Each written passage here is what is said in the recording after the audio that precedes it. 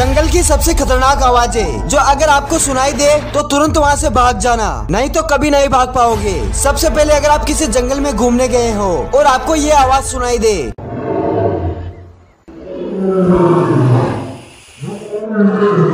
तो तुरंत जितना दूर हो सकता है, वहाँ से भाग जाओ। क्योंकि ये एक शेर की आवाज़ थी, जो कि काफ़ी भूखा और खतरनाक है, जो शिकार की तलाश में इधर उधर भटक रहा है, और अगर उसने आपको देख लिया खत्म। नंबर टू अगर आप किसी घने जंगल में घूम रहे हो और आपके आसपास कोई वाटर सोर्स हो और तभी आपको ये आवाज़ सुनाई दे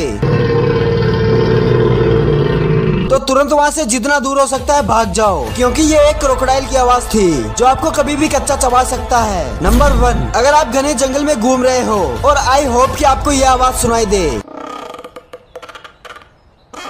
तो वहाँ से कई मत भागना, क्योंकि ये एक पेड़ की आवाज़ थी, जो हवा से हिलने पर आवाज़ कर रहा है। वैसे आपका फेवरेट जंगल कौन सा है? कमेंट करके ज़रूर बताना।